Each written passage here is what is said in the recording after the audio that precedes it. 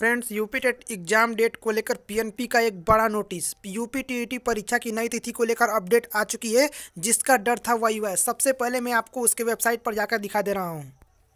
मैं आ चुका हूँ यूपी टेट की ऑफिशियल वेबसाइट पर। और यहाँ पर बता दूँ, यदि आप चैनल पर नए हैं, चैनल को सब्सक्राइब करके बेल आइकन ज़रूर दबाइएगा। जैसा कि मैं आपको बता दूँ, अट्ठाईस नवंबर को इसका जो एग्ज़ाम होने वाला था, जिसका एडमिट कार्ड सत्रह नवंबर को रिलीज़ किया जाना था, जो कि आज अट्ठारह नवंबर हो चुके हैं और अभी तक एडमिट कार्ड रिलीज़ नहीं किया गया है। इसका मतलब यही हुआ कि जो एग्ज़ाम है, आपका वो अभी चेंज हो सकता है। यदि दो दिन के अंदर यदि आपका एडमिट कार्ड नहीं आता है तो मान के चलिए हंड्रेड परसेंट श्योर है कि एग्ज़ाम आपका चेंज होगा, अट्ठाईस नवंबर को नहीं कराया जाए। लेकिन आप अट्ठाईस नवंबर को मानकर ही तैयारी कीजिए।